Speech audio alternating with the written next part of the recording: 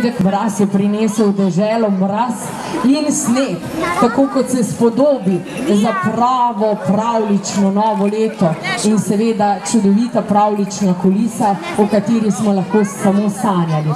Zdaj pa družba, vsi zajamite zrak, odpihnemo, kar je bilo slabega v starem letu, smo, vile zajamemo, naj odnese in seveda dobro razmislimo, kaj si želimo v novem letu in na znak v zvonu bomo odštevali na 10. Torej se pripravljamo v pravlični deželi 15. leto za vstop v pravlično novo leto 12 ur pred vsemi ostalimi. Vilinski zbor je zbran, sila nervoren, nervozen, škratek nogajuček poskakuje, kar zvočka in gremo. 10,